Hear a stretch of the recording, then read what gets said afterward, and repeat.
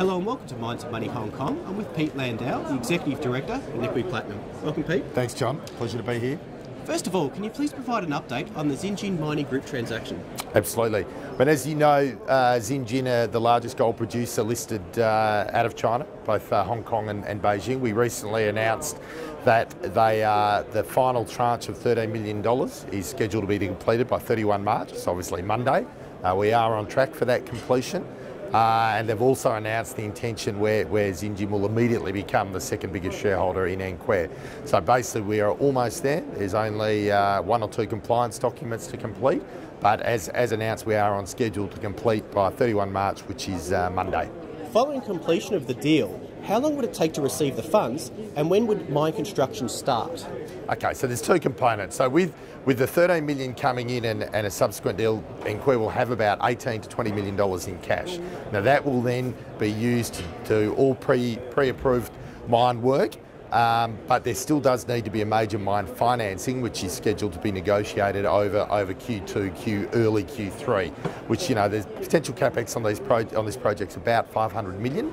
So what will happen once the effective 20 million comes in?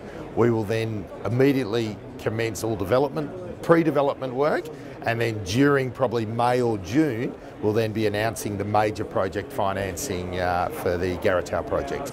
Can you please outline the projected production timeline? So timeline is project financing in place June, July, so let's say Q3. Full on development, as in pre-development already done, full development commence Q4. And then you're probably going to have, depending on your do it, but conservatively probably a two-year, a two-year development stage before being in a position to, uh, to, to produce ore and then on the concentrator side, it depends whether we toll treat initially or use our own concentrator.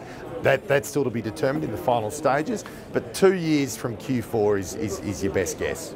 Finally, Pete, can you please outline some of the key catalysts for investors to look out for during 2014? So, obviously, next week is the key catalyst with, with the Zijin, the $20 million tranche as being completed. Uh, next one will then be uh, updated bankable feasibility study and pre-development work, and then the major one will be the, the, the project financing, uh, which obviously will, will, will involve a, a significant portion of debt.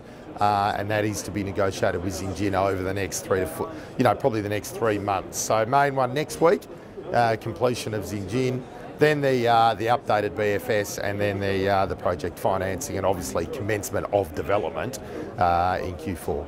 Thank you, Pete, for joining us at Mines and Money Hong Kong. Cheers, John. Thank you.